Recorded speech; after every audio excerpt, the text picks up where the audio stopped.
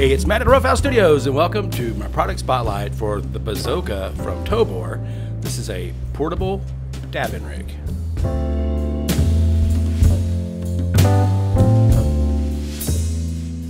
This video is brought to you by IE Cig Best. If you'd like to learn more or to purchase a Bazoka, please visit iecigbest.com.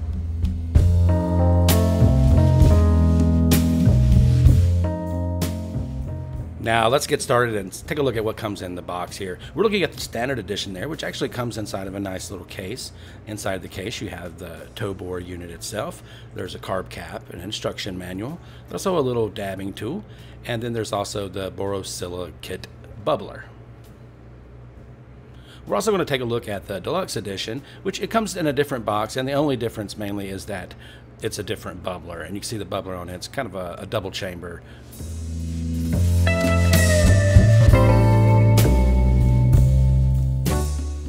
Now let's take a closer look at the Bazoka. You can see it's a very unique looking device. It's got sort of a chamber on each side. It's a metal alloy casing. At the bottom of one side there's a little flip cap. Underneath that cap is where you adjust the height of the flame and also where you add the butane. This is not an electric device, it's all mechanical. On the other side there's a compartment that opens up. Inside of that is a storage chamber inside of that chamber you can see there's a little cleaning brush and there's also a additional screen or it's additional chamber for using it with flower. We're going to be testing this with dabs or wax but you can also use these with flower. At the other end of the device you have where you connect the bubbler on the, the side that's black there the little rubber gasket and there's an air path in that. And then on the left you have the metal chamber. There's a glass bottom to that chamber and that sits right on top of the heating element it's got a little flip cap there that opens up and exposes the, the four nozzles where the heat will come out, where the flame will come out. And then on the side is the actual fire button. You push that down and it'll trigger it, which we'll see once we get it loaded up with some butane. Uh, there's also a carb cap. It's a magnetic cap there that goes on top. That's also got an adjustable airflow in that if you want to use it also with the dry herb. And then we also have the borosilicate glass bubbler. And e either way, if you have the Pro with the bigger bubbler or this, the standard bubbler, it goes in the same way. And there's a little uh, a place where you'll line up the air path and the rubber gasket with the air hole on the bubbler. And there you go. There's the complete unit.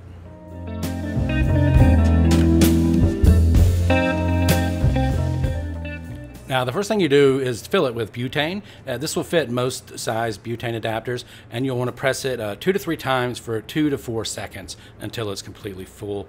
And then after it's completely full, you'll close it, and you'll want to let it, let it rest for two to three minutes before you actually fire it up. And then once it's got butane in it, you just push down the fire button, and for about three seconds, it'll fire on its own, or you can hold it down if you want to continue letting it fire and then the flame heats the bottom of the glass of the chamber there. And then if that was the chamber with holes in it, it can be used for dry herb. This is without holes. So no holes when you're using it for wax and liquids. Obviously it would run right through. Now if you're using it for flowers, you'll also want to change the carb cap. You can see there's a little hole in the carb cap that you use for wax, but it twists on the bottom and you can close that hole up uh, for using it with flowers. Also, when you use it with flowers, what you'll do is you'll take out the little compartment on the bottom has the flower bowl in it. So what you're going to do is to take out the bowl that's in there now, or the one that comes in at default, which is the one without holes, and then you'll replace that with the the bowl that has the holes in it for flowers, and then with the carb cap and all set up, you're ready to use it for flowers. Now, when it comes to filling the chamber for the bubbler, the best way is to pull the water in from the bottom. You don't want to add water into the top, especially when it's on the unit. So pull it in from the bottom and uh, hit it a few times until it evens out.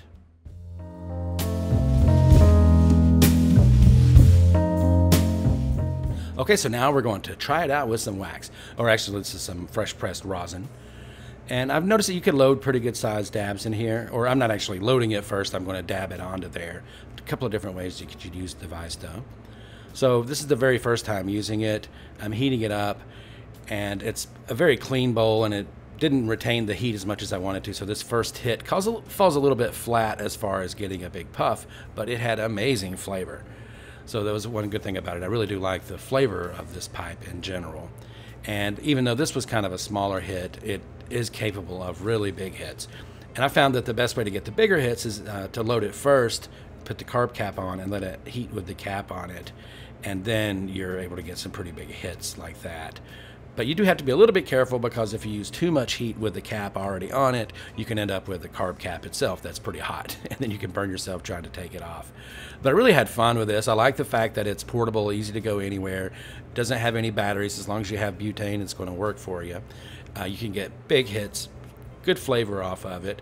And you can use it for wax and oils, but you can also use it, like I said, for dry herb. We didn't test it with that in this experiment here, but it worked really great with the wax. So I'm real happy with the way this hits. And like I said, I really like the fact that it's portable and small, and once it's cool off, you could pretty much just stick it in your pocket or back in its case and go anywhere you want to with it. Now, you've seen me a few times use the carb cap incorrectly by using it with my hands. It's not the way you want to do it. You could burn yourself. You use the carb cap like so with a little, uh, the little metal dabber tool. It's magnetic right there on the top. So that's the proper way to use the carb cap, not with your fingers.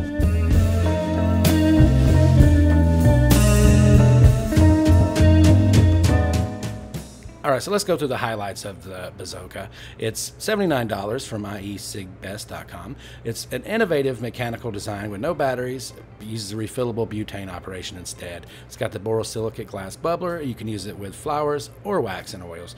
It's easy to use. It has an adjustable flame. Uh, it's easy to clean and it's portable. And at under $80, I'd say it's a really good value. If you'd like to learn more or to purchase one, you can find out how to do that at iecigbest.com. I hope you enjoyed this product spotlight. If you did, hit that like button. Follow me on Instagram at RuffHouse Studios and visit ruffhousestudios.com for hundreds of cannabis culture videos made just for you. This is Matt from RuffHouse Studios. Thanks for watching.